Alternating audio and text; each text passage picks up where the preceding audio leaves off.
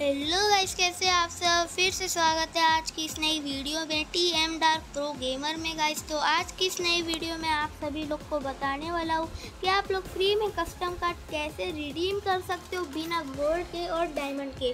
तो चलो बढ़ते हैं वीडियो की तरफ़. तो फ़र्स्ट हमारा है गाइड में जाओ आप लोग.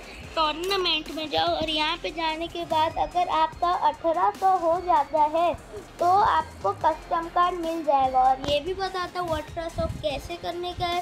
तो अगर आप एक मैच जीतोगे तो आपको मिलेगा बारह बारह डॉग और अगर आप एक मैच हारोगे तो मिलेगा चौबीस डॉग और ये भी बताऊँगा कहाँ पे मिलेगा. तो यहाँ पे आपको मेल बॉक्स में मिल जाएगा कस्टम कार्ड और ये भी बता दो कैसे बनाते. चलो चलो, जल्दी से.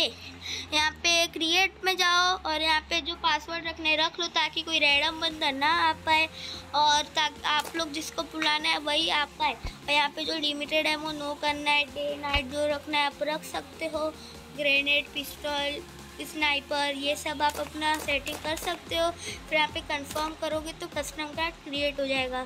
तो गाइस यार, आज के लिए बस इतना ही। अब मिलेंगे अगली वीडियो में। जब तक के लिए बाय बाय